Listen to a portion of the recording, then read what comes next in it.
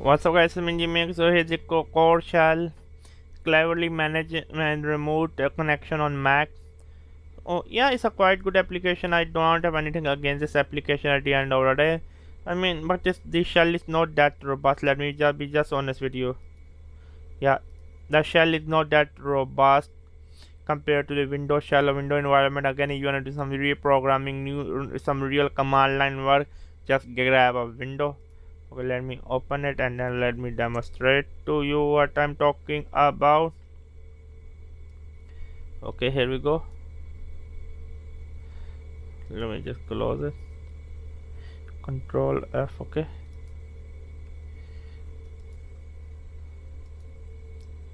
Let me open it again.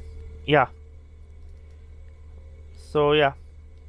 Can you see the command line? I'm not going to like uh, mess around don't damage yeah subscribe and buy 6 out of 10 mediocre at best